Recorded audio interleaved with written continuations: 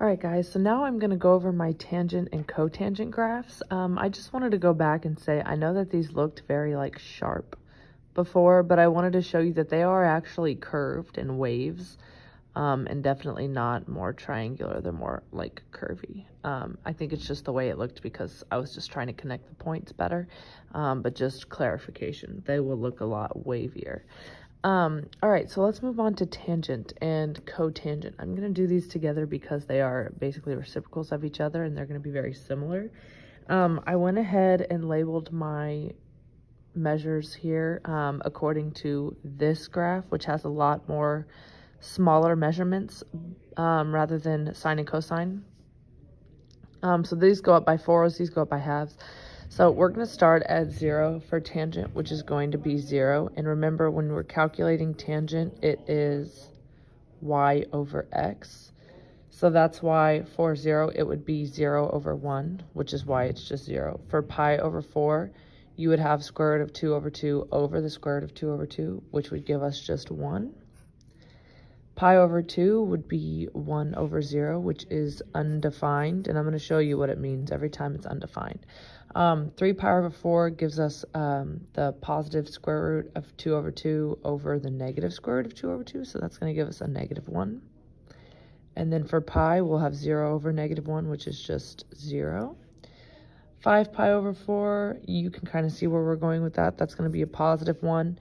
Um, and then 3 pi over 2 is going to be negative 1 over 0, which again is undefined. And so um, you'll see how it repeats throughout the graph. So we have a point at 0, 0. And then at pi over 4, we have 1. Um, oh, pi over 2. So every time it's undefined, that means it doesn't exist. That means it's an asymptote. So there will never be a part of this graph touching pi over 2. 3 pi over 4 is negative 1. Pi is 0. 5 pi over 4 is positive 1. 3 pi over 2, another undefined. And so as you can see, every time we have um, a half, it's going to be an asymptote. So I can go ahead and tell you that um, negative pi over 2 is also going to be where an asymptote is. And negative 3 pi over 2, another asymptote. Because it's going to look the same all the way across. It kind of just creates a pattern. And that means I can also tell you that negative pi over 4 will be at negative 1. And then we can look the same thing here.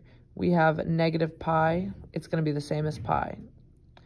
Negative 3 pi over 4 will be positive 1. Negative 5 pi over 4, negative 1. So,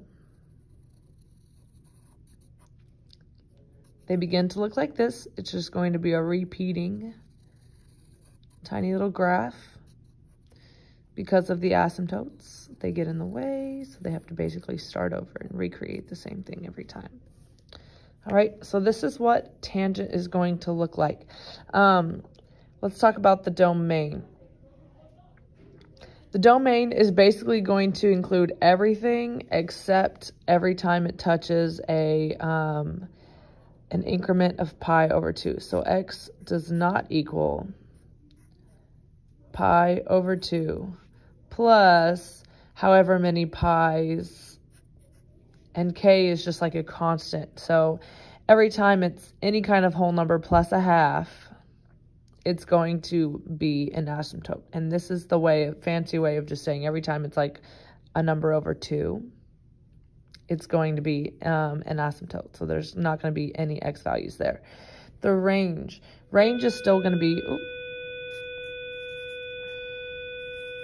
negative infinity into infinity because in each little section, it still covers, I mean, it still is continuous. So it's going to keep going up and down. Um, so all y values are accepted there. And again, all the asymptotes is going to be exactly where the domain is. So all factors of pi over 2 at any point on the graph.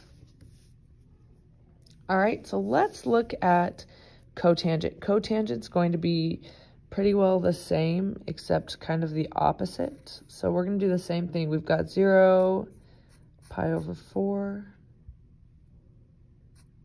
pi over 2,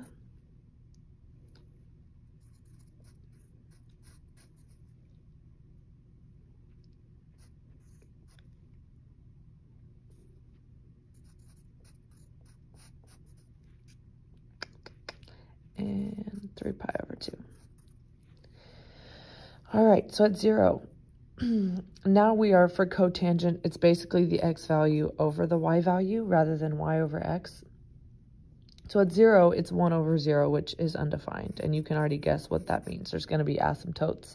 Um, pi over 4 is going to give us x over y is going to be 1. Square root of 2 over 2 over the square root of 2 over 2 we have pi over 2, which is going to be 0 over 1, which is 0. Then we have negative 1.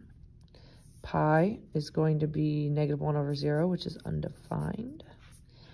5 pi over 4 is going to give us 1, and then 3 pi over 2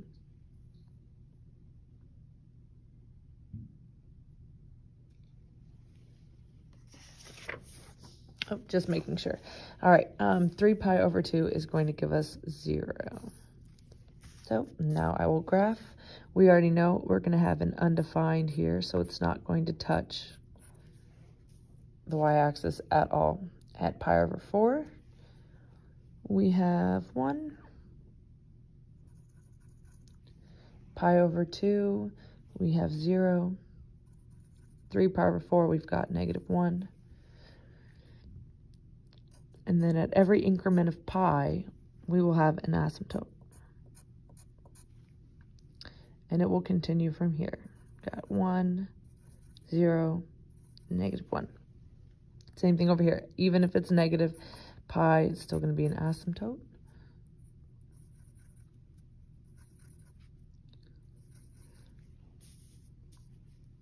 And negative 2 pi, same thing.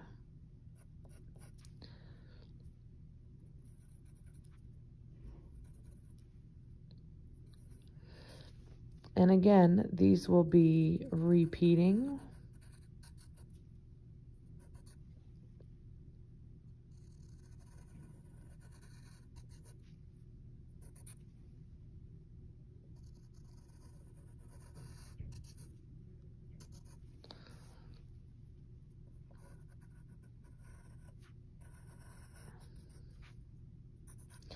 All right, and as you can see, they are the exact, pretty much opposites of each other. All right, now the domain here is going to be not including any of the increments of pi.